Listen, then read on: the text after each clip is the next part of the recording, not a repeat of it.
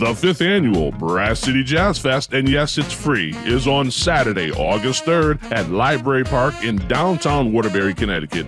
This year we have 2023's Billboard Smooth Jazz Artist of the Year, saxophonist Vincent Ingala, flautist Ragan Whiteside, guitarist JJ Sansaverino, and legendary producer Barry Eastmond and special guest.